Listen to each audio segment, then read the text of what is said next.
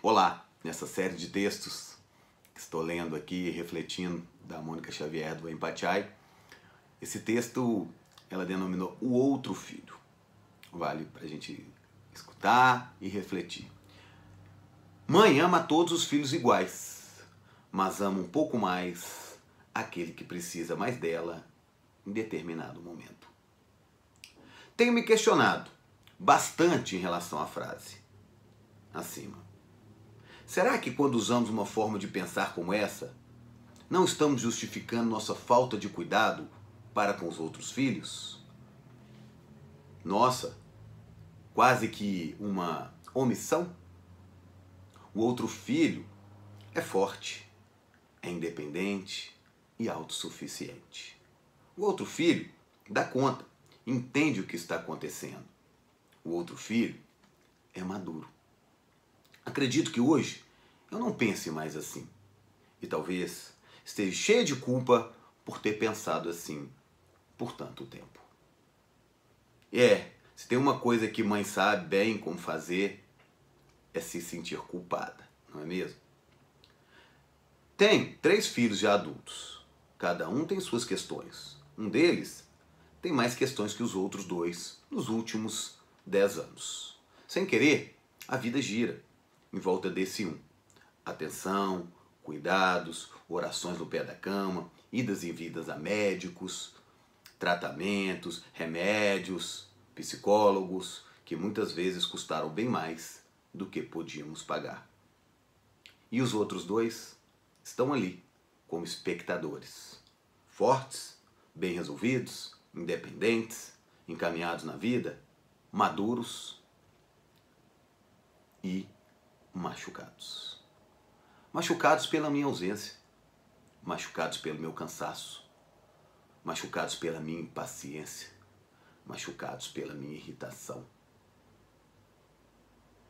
Tem uma frase de, do Neruda que diz assim: Se sou esquecido, devo esquecer também, pois amor é como espelho, tem que ter reflexo. Quando dou o outro filho por garantido, eu estou, no mínimo, esquecendo. Esqueço seus medos, seus anseios, suas inquietações. Esqueço também as suas fragilidades. E se ele se esquecer do amor, por não mais se reconhecer no meu espelho, talvez seja tarde demais para resgatá-lo. Texto, mais uma vez, brilhante da Mônica Xavier, para a gente refletir. E esse texto tem muito a ver comigo, né? É como irmão, pessoa, né? E lá em casa são quatro, o Dudu nasceu com síndrome de Down, caçula. E muitas vezes sou taxado como irmão modelo, irmão perfeito. Não tem isso, não tem isso. Cada um tem suas escolhas, cada um tem seu caminho, cada um tem seus gostos, preferências. E, e muitas vezes eu vejo muitas famílias botando pressão no outro irmão. Oh, tá vendo, conversa com o Léo, menino novinho. E às vezes não é disso que ele precisa que ele menos precisa é disso. Que ele precisa de acolhimento, de escuta, de ser visto como pessoa, ser escutado no que ele quer e não o que os pais querem para ele.